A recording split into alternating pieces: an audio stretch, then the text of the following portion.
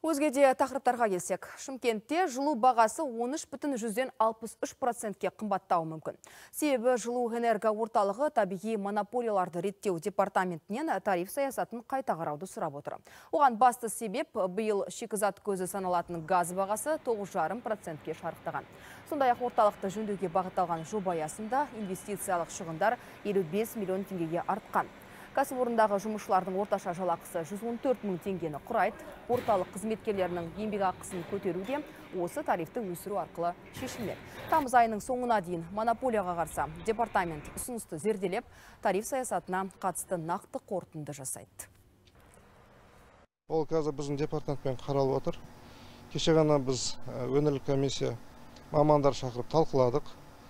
Өрді бір жылдық болып саналған, бірақ бізде жылдың өздеріңіз білесіздер уже жеті ай өтіп кетті. Сол себептен екі есе сұрап отқаннан төмендейтін шығар тариф.